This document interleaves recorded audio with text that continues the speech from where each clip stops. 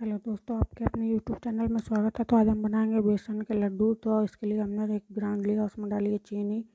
चीनी को हमने दर दरा दर दरा इसमें पीस लिया। अगर आपके पास बूरा तो आप बूरे का भी यूज़ कर सकते हैं। तो आप देखिए, हमारा ये दर दरा दर दरा वो बन के तैयार हो गया है, बूरा। क्योंकि इसको हमने घर में ही बनाया है। आप चाहें तो मार्केट से भी ले सकते हैं। और हमने चढ़ाई कढ़ाई उसमें डाला एक कटोरी बेसन। हम इसमें डालेंगे दो चम्मच घी।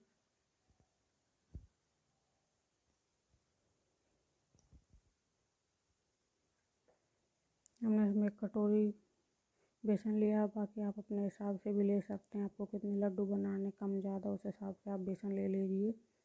हमने इसमें दो चम्मच घी डाल दिया। हम इसको बराबर चलाते रहेंगे, बराबर ही चलाते रहना है इसको अच्छे से। मिक्स करते रहना है स्लो गैस पे। गैस को हाई नहीं रखना है, कम ही रखना है इसको बराबर हम इसको मिक्स करते रहेंगे अच्छे से। अच्छे से हम अपना बेसन को भून लेंगे। जब तक इसमें अच्छी खुशबू आने लगे, तब तक हमें गैस को बंद नहीं करना है कम से कम इसको पंद्रह से बीस मिनट लगेंगे तो इसको अच्छे से हम चलाते रहेंगे। बराबर इसको चलाते रहना है। अब हम इसमें एक चम्मच घी और ऐड करेंगे।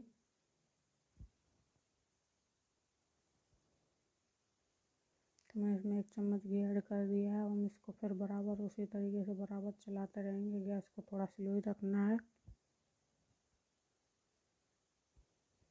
हाई नहीं करनी है गैस।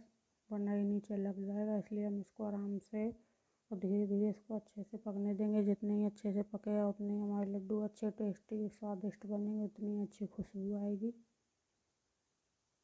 तो बराबर हम इसको चलाते रहेंगे।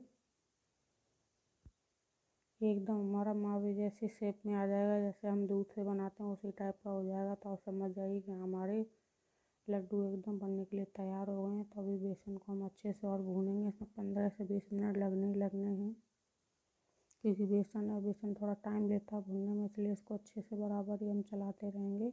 इसमें मैंने डाली थोड़ी सी हल्दी। आप शायद इसमें कलर भी ऐड कर सकते हैं। हल्दी को हम अच्छे से इसमें करेंगे मिक्स। बराबर ही हमें इसमें मिक्स करते रहना है। अच्छे से चलाते रहेंगे। जब तक ये मावे जैसी शेप में नहीं आएगा, हम इसको चलाना बंद नहीं करेंगे, हम बराबर इसको चलाते रहेंगे। मैं भी आपको दिखाऊँगी कि जब ये बनने के लिए तैयार होगा आपका बैटर तो फिर आपको कैसा दिखेगा। अपने आप से ही पतली से शेप में आ जाएगा थोड़ा थोड़ा आपको पतला नज़र आने लगेगा, अभी आपको एकदम से टाइट सा थोड़ा नज़र आया, आप देखिए पतला अपने आप से हो गया क्योंकि हमारा बेसन एकदम से भुन चुका है। लेकिन हम इसके बाद भी इसको थोड़ा सा और भूनेंगे अच्छे से। इसको मिक्स करते हुए बढ़िया से चलाते रहेंगे, बराबर इसको चलाएँगे।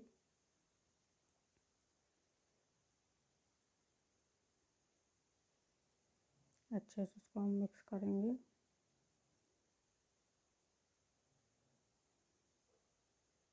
गैस को हमने कर दिया बंद। इसको थोड़ा ठंडा होने देंगे अच्छे से। एकदम से ठंडा नहीं करना, हल्का ही ठंडा करना है। उसके बाद ही हम इसमें, जो हमने चीनी से बनाया था बूरा, उसको हम ऐड करेंगे। तो अभी मैं इसको थोड़ा ठंडा कर रही हूँ, इसको ठंडा होने देंगे। ये हमारा ठंडा हो गया है। हम इसमें ऐड करेंगे बूरा। तो हमने जो दर, दरा दर, दरा चीनी से पीस के तैयार किया था, वो हमने इसमें ऐड कर दिया है। अब इसको भी हम अच्छे से उसी तरीके से मिक्स करते रहेंगे। बेसन को इस बूरे को हम अच्छे से इसमें मिक्स कर देंगे। अच्छे से चलाते हुए इसको बराबर ही चला के जितने अच्छे से आप मिक्स करेंगे उतने ही अच्छे बनेंगे।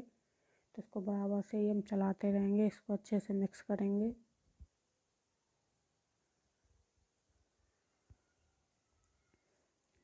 हमारे लड्डू बनने के लिए एकदम ही तैयार हो गया, हम इसमें से थोड़ा थोड़ा लेंगे और हम अपने हिसाब से लड्डू छोटे बड़े जिस तरीके से बनाना, उस तरीके से बना के अपने लड्डुओं को रेडी करेंगे।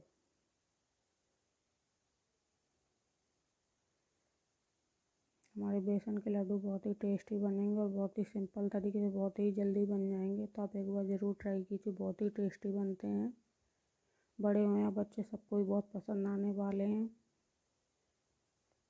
तो मैंने इस तरीके से बनाए हैं। आप देखिए, बहुत ही अच्छे बने हैं। एकदम सिंपल रेसिपी है।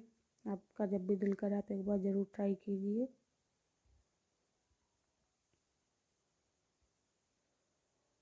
मैं उनको सारे लड्डुओं को कर लूँगी तैयार।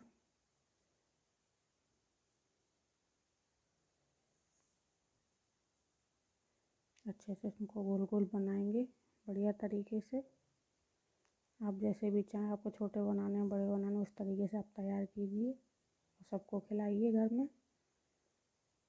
हमने अपने हिसाब से इनको रेडी कर लिया तो आप देखिए हमारे लड्डू कितने अच्छे बन के तैयार हुए हैं। बहुत ही टेस्टी बहुत ही स्वादिष्ट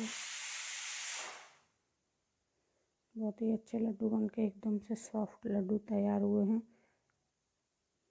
बहुत ही बढ़िया लड्डू बने हमारे। एक बार आप भी इन्हें ज़रूर ट्राई कीजिए।